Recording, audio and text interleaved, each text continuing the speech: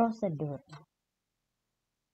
Prosedur merupakan modul program ya yang bertujuan untuk mengeksekusi instruksi spesifik di mana dia hanya menghasilkan efek neto saja.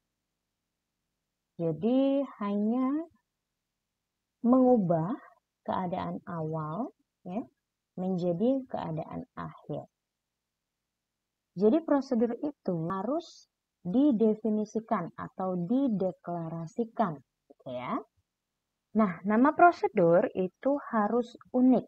Jadi tidak boleh ada uh, lebih dari satu prosedur yang memiliki nama yang sama.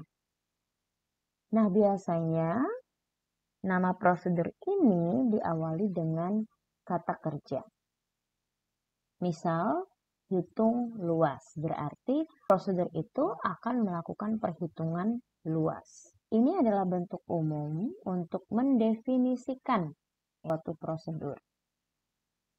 Yang digarisbawahi adalah keywordnya yaitu prosedur, kemudian diikuti dengan nama prosedurnya, lalu kita diizinkan untuk memberikan parameter ataupun tidak.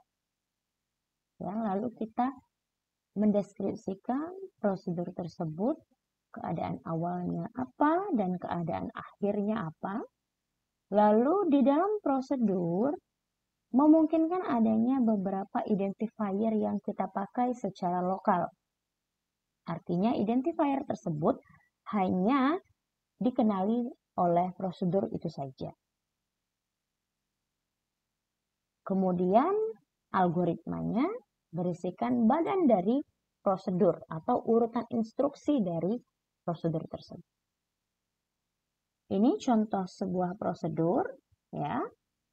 Prosedur hitung luas segitiga di mana prosedur ini menghitung luas segitiga dengan rumus L sama dengan alas dikali tinggi dibagi dua. Kondisi awalnya tidak ada, kondisi akhirnya adalah mencetak luas. Deklarasinya kita butuh alas ya, tinggi, luas, bertipe real. Lalu algoritmanya kita baca alas dan tinggi. Lalu barulah kita hitung luas diisi dengan alas kali tinggi div 2. Lalu cetak luasnya. Subprogram ya berupa prosedur itu tidak bisa berdiri sendiri. Jadi dia akan dieksekusi apabila ada yang memanggilnya.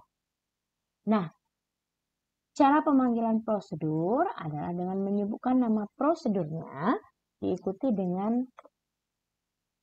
kurung bulat seperti ini. Jika ada parameter, maka kita sebutkan juga parameternya. Kalau ada, kalau tidak ada, berarti kosong. Ya, jadi ini parameter bersifat opsional. Nah, ini adalah main program kita, di mana nanti main program ini yang akan memanggil prosedur yang sudah kita buat sebelumnya, yaitu prosedur hitung luas segitiga. Jadi main program kita ini namanya program segitiga. Ya, deskripsinya menghitung luas n buah segitiga, di mana masukannya n. Deklarasinya di sini ada I untuk pencah-cahnya, kemudian N itu jumlah segitiganya. Lalu ada prosedur hitung luas segitiga. Nah, ini prosedur kita juga perlu dideklarasikan gitu ya agar baris program mengenali prosedur hitung luas segitiga tersebut. Algoritmanya di main program ini kita hanya membaca n, kemudian di sini ada pengulangan dimulai dari 1 sampai n, Lalu kita panggillah prosedur hitung luas segitiga. Ketika kita memanggil uh, prosedur hitung luas segitiga, maka baris program ini akan langsung loncat ke prosedur luas segitiga untuk dieksekusi baris per baris secara sekuensial. Jadi dimulai dari deklarasi variabel-variabelnya, dieksekusi kemudian membaca alas dan tinggi, menghitung luas sampai mencetak luas gitu ya. Baru balik lagi ke yang memanggil. Di sini kasusnya adalah program yang memanggilnya. Balik lagi ke sini kemudian terus mengulang sampai n Ketika dituliskan di dalam algoritma lengkap, itu kita harus e, menuliskan definisi prosedur dulu, baru menuliskan definisi main programnya. Ya. Jadi di sini saya buat new slide ya. Kalau dia digabungkan, jadi ini posisinya adalah di atas. Seperti ini, ya. Baru kita tuliskan main programnya.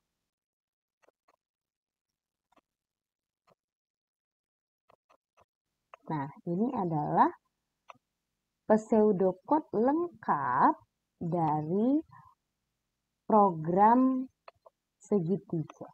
Nah, sekarang perhatikan di sini. Kita punya variabel i dan n, ya. Lalu kita juga punya variabel alas tinggi luas.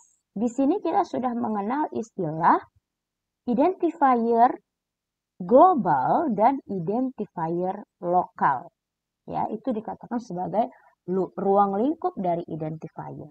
Ketika suatu identifier itu dideklarasikan di main program, ya main program kita ini adalah program segitiga, artinya ini adalah identifier global, eh lokal, sorry, lokal, ya, yang hanya dikenali oleh main program. Sama halnya seperti alas, tinggi, dan luas. Ini juga dikatakan sebagai identifier lokal ya yang hanya dikenali oleh subprogram. Hitung luas segiti segitiga.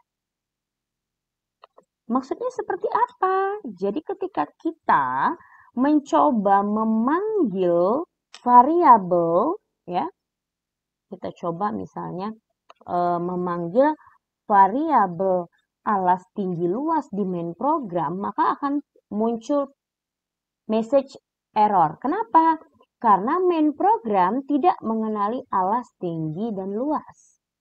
Begitu juga sebaliknya ketika dihitung luas segitiga, kita panggil variabel i dan n, maka muncul message error. Kenapa? Karena variabel i dan n tidak dikenali oleh prosedur hitung luas segitiga.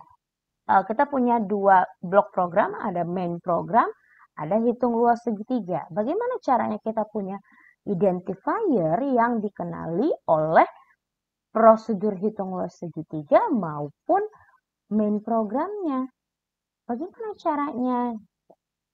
Caranya adalah mendeklarasikan dia di luar dari main program. Begitu.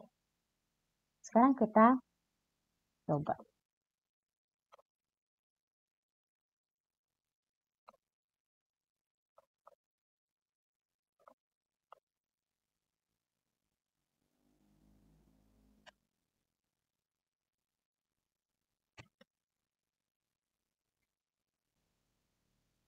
Nah, di sini kita butuh mendeklarasikan suatu prosedur ya.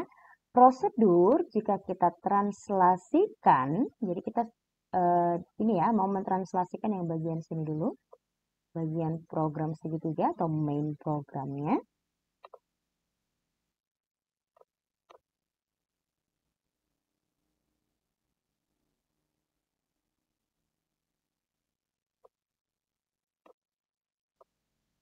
Oke.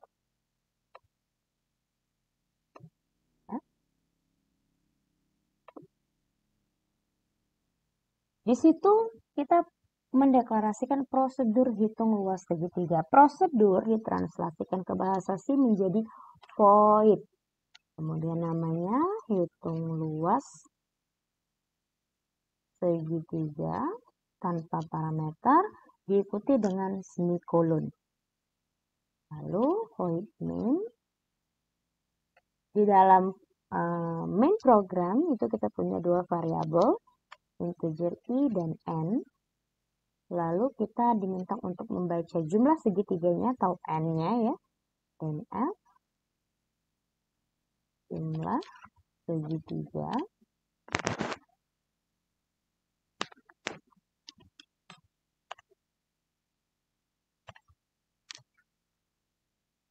kita baca jumlah segitiganya N.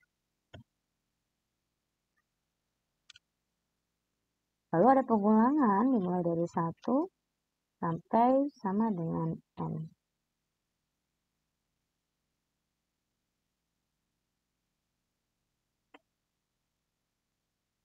Di sini kita memanggil hitung luas segitiga.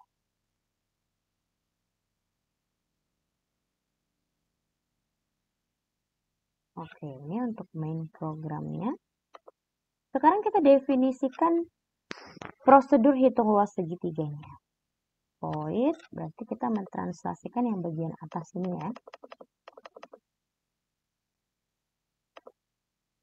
ya. Void, hitung luas segitiga. Di dalam sini kita punya tiga variabel bertipe real, berarti float, alas, tinggi, dan L, luas. Kemudian kita baca alas dan tingginya, berarti alasnya sama dengan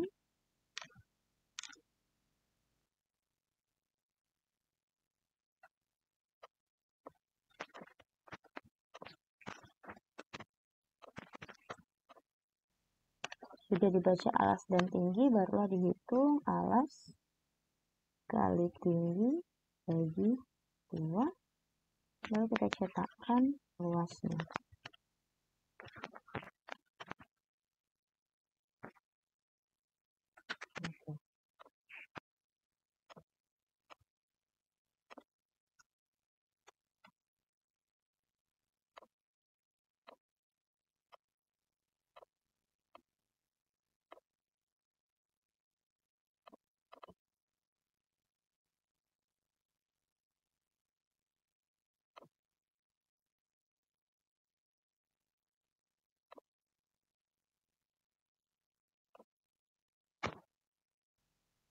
Oke, ini hasil run programnya. Saya diminta untuk memasukkan jumlah segitiga kita. Misalnya ada tiga segitiga. Alas segitiga yang pertama itu dua, tingginya tiga.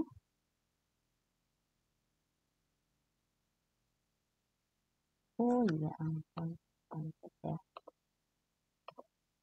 Tambahin dulu persen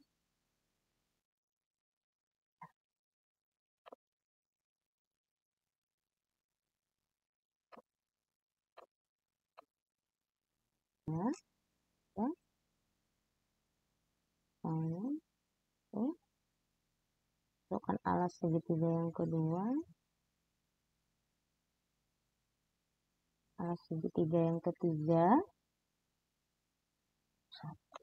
Jadi itu kalau mau diperjelas lagi boleh kita tambahkan di sini keterangan ya segitiga ke berapa ya persen D? Kita cetak I nya berarti. N, N line ya. Kita tambahkan N line. Biar dia setelah menghitung segitiga yang sebelumnya dia akan membuat alinea baru.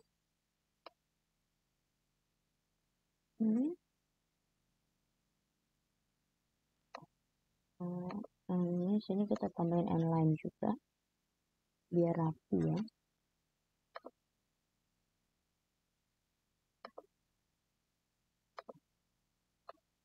ini bisa dua tiga misalnya segitiga yang kedua lima empat segitiga yang ketiga tujuh enam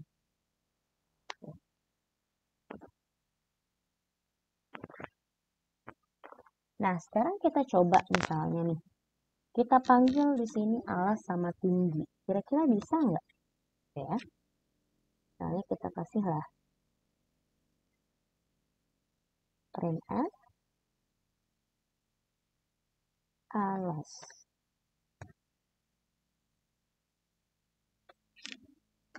Send F kita coba run programnya. Nah ini muncul message undefined symbol A. Artinya si A itu tidak dikenali oleh main program Berarti A itu bersifat lokal hanya di prosedur hitung luas segitiga dikenalinya. Terus sekarang kita coba akses variabel i di prosedur hitung luas segitiga. Ya.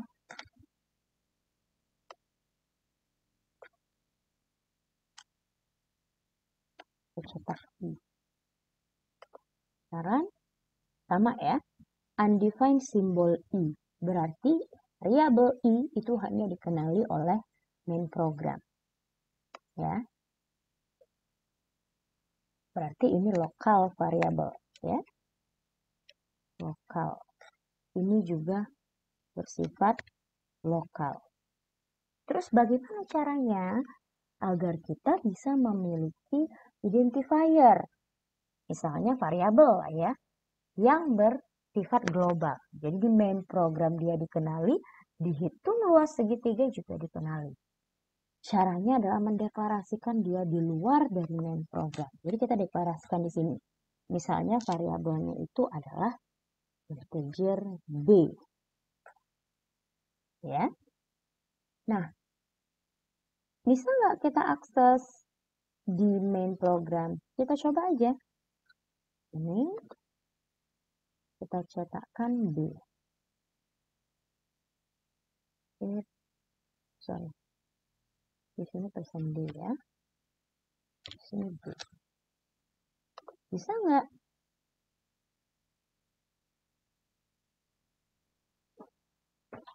Nah, ternyata tidak error.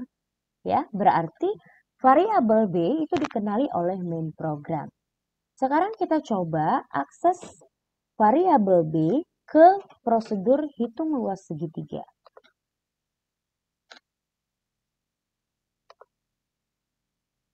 Nah, sama ya, berarti variabel B itu juga dikenali oleh hitung luas segitiga karena dia tidak error, ya.